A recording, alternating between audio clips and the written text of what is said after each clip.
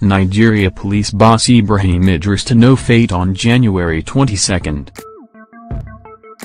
In FCT High Court, Jabi on Monday fixed January 22 to deliver judgment on enforcement of rights suit filed by the Inspector General of Police, Mr. Ibrahim Idris against the Senate.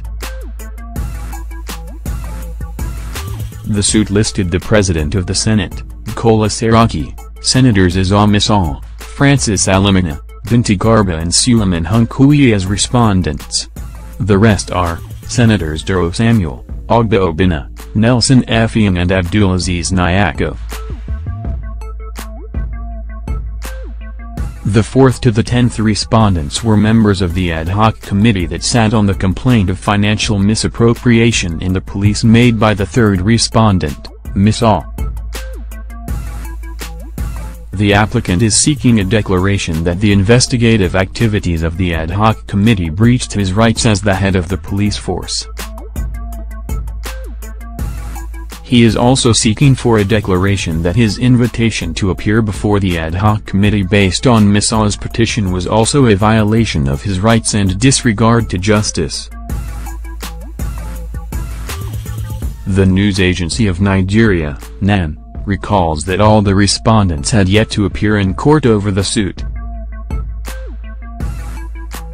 The presiding judge, Justice Abba Bello Muhammad had on November 16, ruled that the respondents be served by substituted means in two national dailies.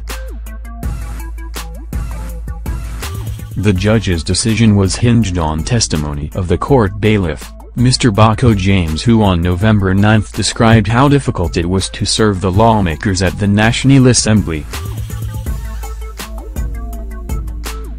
At the resumed hearing on Monday, neither the respondents nor their counsel were in court. Earlier, Dr. Alex Izinyon, SAN, counsel to the applicant had informed the court that the respondents were served through substituted means as ordered by the court. My lord, the applicant was able to carry out the court order by publishing the processes in two national dailies with December 4 as hearing date. Publication of all the court papers was done in the Sun and Leadership newspapers on November 22. My lord, between November 22 and now, it was sufficient enough for the respondents to file their responses if they had regards for the court, he said. Izinyon prayed the court to hold that his client complied with the order of court.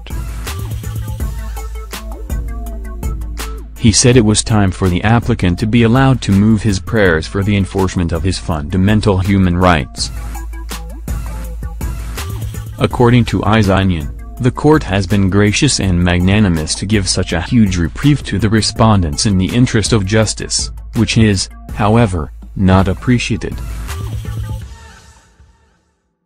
The judge after hearing the prayer of the applicant's counsel granted him the permission to move the application.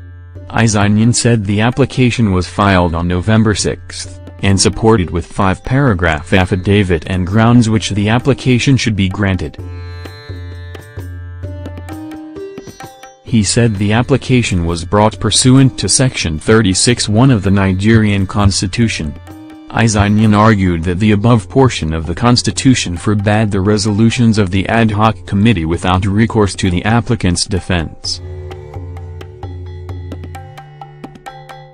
He also prayed the court to declare that the activities of the committee were premeditated and illegal, adding that the Senate lacked the powers to investigate alleged graft petitions. Izinyon said Misau ought to have written his petition to the EFCC or ICPC, adding that those were the bodies set up by law to investigate and prosecute graft allegations.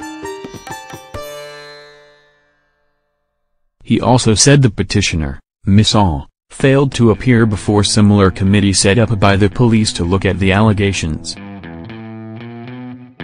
Nan recalls that Misau had alleged that the police received payments running into billions of naira from companies and rich individuals before assigning police guards to them. The police, however, denied the allegations, as according to the applicant, the force was not set up to generate revenue.